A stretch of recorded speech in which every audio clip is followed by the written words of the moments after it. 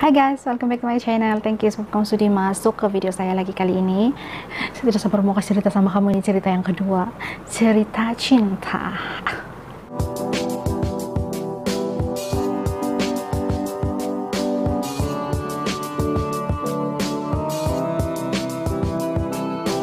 Minggu lalu kita sudah mendengarkan cerita tentang Eloise dan Abelard. Siapa yang ada tengok? Terima kasih selalu kamu sudah menonton saya punya video yang itu. Kali ini kita akan mendengarkan cerita cinta lagi. Cerita cinta kali ini berasal dari India. Bukan Charukana, bukan Charukan, Charukan bukan. Kita akan mendengarkan cerita tentang Mumtaz Mahal dan juga Shah Jahan. Saya ada sebut juga nama orang minggu lalu. Tapi mungkin kamu pun belum pernah dengar cerita dia kan saya pun selalu juga dengar nama Mumtaz dan Shah Jahan tapi saya tidak pernah menyiasat atau saya tidak pernah menonton film maupun buat research tentang apa ini cerita yang saya tahu. Dia kisah cinta melibatkan Taj Mahal itu saja. Tapi saya sudah baca saya sudah baca berapa versi tiga versi empat versi dan beberapa video rujukan tentang cerita ini. Dan saya sudah menyediakan versi saya sendiri. Saya harap kamu terhibur dengan cerita kali ini guys ambil kopi kamu, duduk manja di depan screen. Mari kita dengarkan cerita tentang Mumtaz dan Shah Jahan. Mumtaz dan Shah Jahan. Percintaan ini bermula pada tahun 1607. Masa itu, Shah Jahan pergi di bazar. Bazar Mina nama dia punya bazar. Bazar ini merupakan pasar, macam pasar lah. Di bazar Mina itu, Shah Jahan ternampak seorang gadis yang menjual sutra dan manik-manik.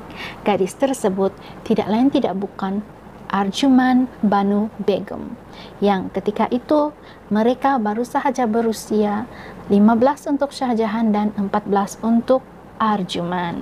Lepas itu Shah Jahan pun balik di istana. Pas sudah teringat-ingat, hai cantik betul lah Sumandak tadi yang di pasar itu. Mungkin saya patut mengawini dia supaya dia sentiasa berada di sisi saya, dia bilang. So, tanpa basa-basi lagi, Shah Jahan pun pergilah mencari rumah wanita itu dan ditemuinya lah orang tua si Arjuman Banu Begum. Setelah Shah Jahan menemui rumah, menemui orang tua kepada wanita tersebut, beliau pun menyatakan hasrat untuk menikahi Arjuman. Lepas bapak si Arjuman setuju. Dia cakap, Oke, okay, saya setuju untuk pernikahan kalian, tetapi pernikahan itu haruslah diadakan lima tahun dari sekarang, dia bilang. So, terjadilah perkawinan mereka pada ketika Arjuman berusia 19 tahun dan juga Shah Jahan berusia 20 tahun. Ketika itu, Arjuman Banu Begum bukanlah istri pertama bagi Shah Jahan, melainkan istri yang ketiga. Namun, dalam banyak-banyak istri dia, Arjuman Banu Begum merupakan istri yang paling disayangi oleh Shah Jahan. Siapakah Arjuman ini? Tadi bilang mau cerita pasal si Mumtaz. Nah, di sini dia punya twist. Arjuman Banu Begum merupakan Mumtaz Mahal. Setelah Shah Jahan menikahi Arjuman Banu Begum, Shah Jahan menganugerahkan nama Mumtaz Mahal yang bermaksud permata istana. Demikianlah anggapan Shah Jahan terhadap Mumtaz Mahal yaitu Mumtaz merupakan permata hati dan permata istananya. Setelah beberapa ketika Shah Jahan pun menaiki tahta menjadi maharaja menggantikan bapak dia. Setelah dia menjadi maharaja, dia memberikan satu tugas yang sangat besar kepada istrinya Mumtaz yaitu memegang cap mohor diraja begitu besarnya percaya dan cinta si Shah Jahan terhadap Mumtaz ini sampai dia berani dan percaya untuk menyerahkan cap mohor diraja kepada istrinya. Semasa Shah Jahan menjadi maharaja, Shah Jahan dan Mumtaz dikatakan sering ke mana-mana bersama. Dia macam pasangan yang hari-hari baru bercinta. Bukan berkahwin tapi hari-hari bercinta saja. Macam yang um, sentiasa dilamun cinta setiap masa. Di mana-mana pun Shah Jahan pergi, Mumtaz akan kelihatan di sana juga. Mereka sering kelihatan bersama walaupun itu ialah upacara ketenteraan ataupun kempen ketenteraan. Di mana ada Shah Jahan, di situ ada Mumtaz Mahal. Kebahagiaan mereka tidak panjang apabila akhirnya Mumtaz Mahal meninggal kerana komplikasi semasa bersalin.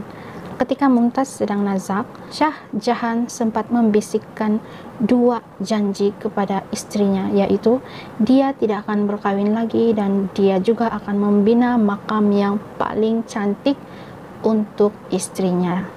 Sehabis sahaja Shah Jahan melafazkan janjinya itu kepada istrinya, Mumtaz pun meninggal dunia. Selama dua minggu yang kedengaran di istana hanyalah bunyi tangisan daripada sang maharaja yang terlalu keluh kesahnya kerana kehilangan istrinya yang dianggap permata dalam hidupnya. Shah Jahan dikatakan telah melakukan segala usahanya mencari orang yang boleh mengobati istrinya namun dengan segala kekuatan yang dia ada, dengan segala kekayaan yang dia ada, dia masih gagal menyelamatkan nyawa istrinya dan itulah yang membuatkan dia sangat-sangat terpukul. Shah Jahan telah mengistiharkan dua tahun waktu perkabungan untuk seluruh kawasan jajahannya sebagai maharaja.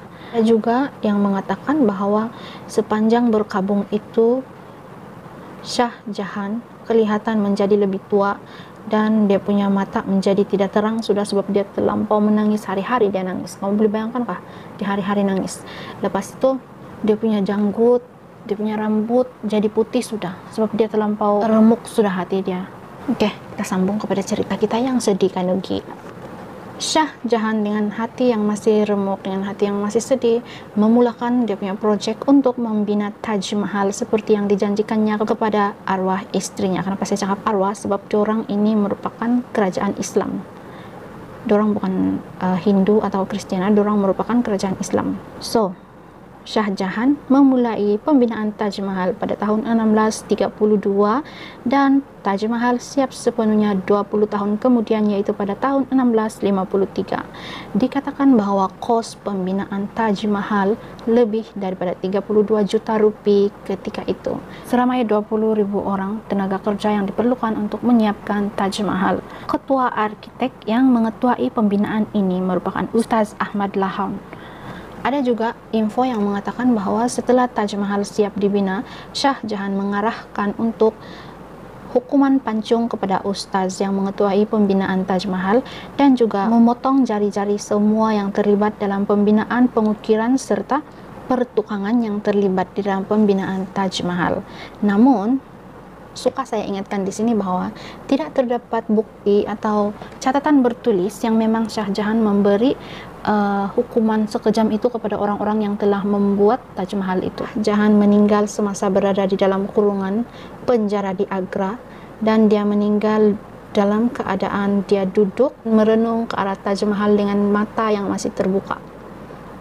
Macam mana pula dia di Agra dan di penjara di Agra sebab dia punya anak merampas tahta Maharaja si Shah Jahan. Kemudian anak dia mengurung bapak dia sana di bangunan di Agra dan melarang bapaknya memasuki kawasan Taj Mahal. Itulah akhirnya Shah Jahan meninggal. Meninggal dalam keadaan merenung Taj Mahal. Dan dia akhirnya disemadikan di Taj Mahal bersebelahan dengan istrinya. So ya sama juga kan ending sama si Eloise sama si Abelard dorang bersama pun bila yang dorang meninggal sudah. Jadi dorang punya makam atau kubur dorang diletakkan bersebelahan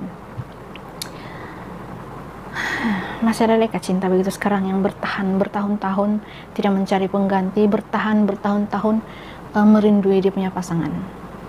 Jam susah sudah mencarikan. Tapi yalah lain orang lain dia punya prinsip dalam percintaan. Thank you guys for watching. Itu saja kita punya cerita cinta Mumtaz dan Shah Jahan untuk minggu ini. Thank you for watching guys. You guys are awesome. Stay safe stay healthy dan tetap semangat melalui hari-hari yang akan datang. Bye